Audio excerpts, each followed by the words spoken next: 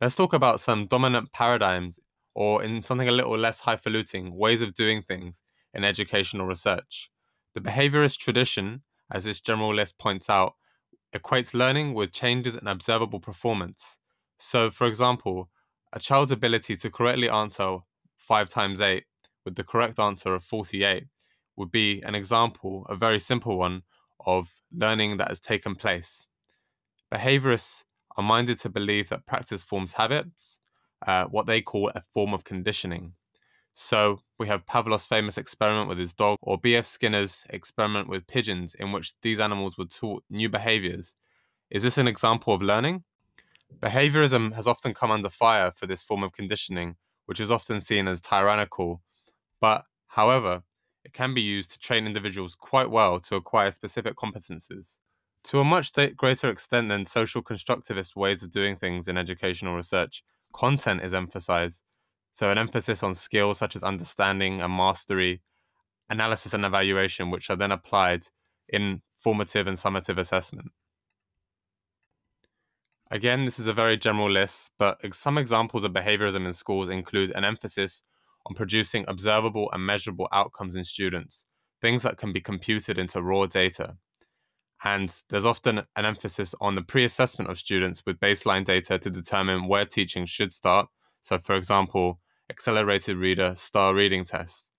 This, these are later then used for post teaching assessments to determine progress and if further interventions should be used if students are below the stated standards.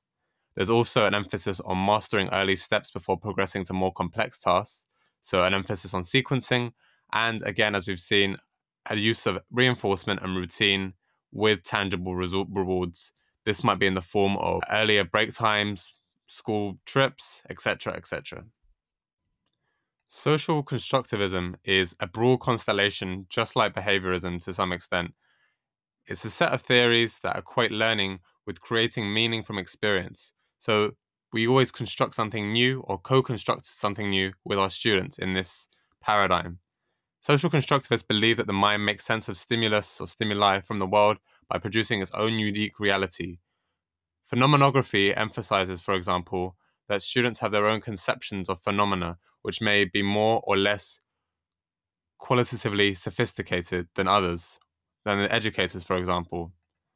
Students should be helped to integrate their learning in school with their experiences of the world. Learning a school subject often le- involves learning how to think like a member of that disciplinary community, for example. And like behaviorists, there's an emphasis on sequence, moving from experience to theory. Contrast to behaviorists, though, Social constructivists are a lot more inclined to see the situated nature of learning. That is, that each instructional or educational context cannot be entirely separated from the wider context of the classroom and the forces beyond the classroom itself. Compared to behaviorists, social constructivists are a lot more open ended about their objectives in some cases.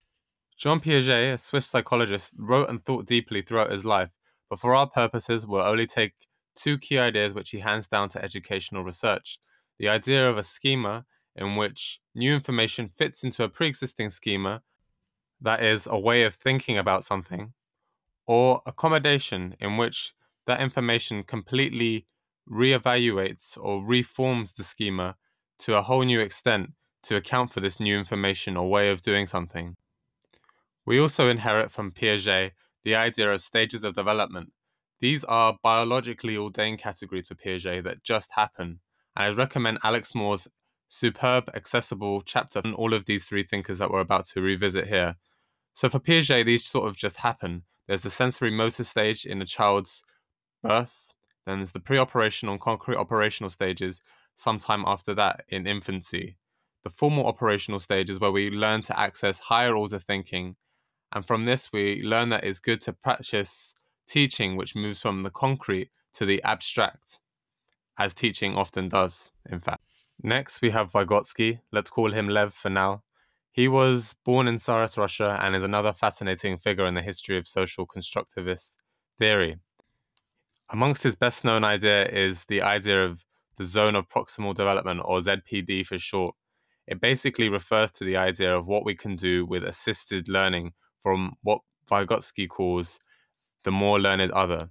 This doesn't necessarily have to be a teacher, an older teacher, it can be a younger peer who's more experienced in the thing that they're teaching.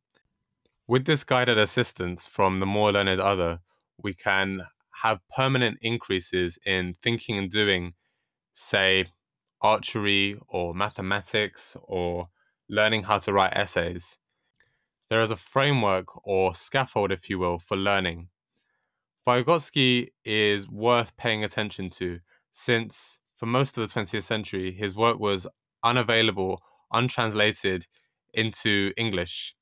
And the key idea or key takeaway of Vygotsky is that the interpsychological, the social, becomes the intrapsychological, the permanent increase in human abilities.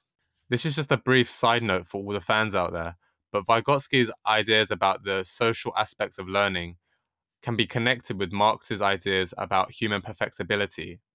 However, Vygotsky's ideas in the history of the Soviet Union were sidelined. It's worth noting that Stalin was reputed to favor behaviorism overall, and Vygotsky's afterlife was by no means guaranteed. Finally, we have Jerome Bruner. Sorry, yes, another man, but also another towering figure in the history of social constructivist thinking about education. His best known ideas are instructional scaffolding, which he takes and develops from Vygotsky, and the idea of spiral curriculum, in which the learner revisits the same idea in an altogether more complex way than they did perhaps a few months ago. He is an advocate for guided discovery through structured support, so things like doing experiments and having demonstrations with the teacher in a Q&A scaffolded format. The pupil will solve problems, but the teacher can intervene if they get stuck. A cognitive psychologist or psychologist by training, he made his name with works like Towards a Theory of Instruction, which looked at instructional settings in abstraction from other wider social contexts like poverty or culture. This was a position he was later to move away from when in the 90s he concentrating on these things like poverty and culture with works like Culture and Education. Again, I recommend the accessible, quick chapter from Alex Moore from 2012 on all of these three figures, if you're interested, which you should be. Anyway, thank you for your time. See you in the next video.